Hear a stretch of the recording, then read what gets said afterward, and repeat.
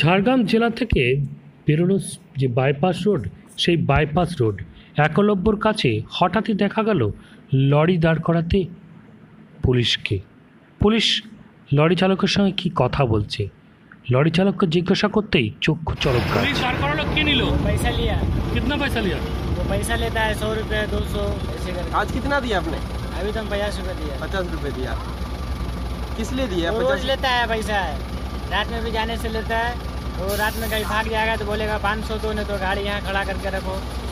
आप कहाँ से कहाँ जा रहे हैं? नहीं तो टाटा कलकत्ता में लोग जाता है। हर दिन पैसा देना पड़ता है। हाँ।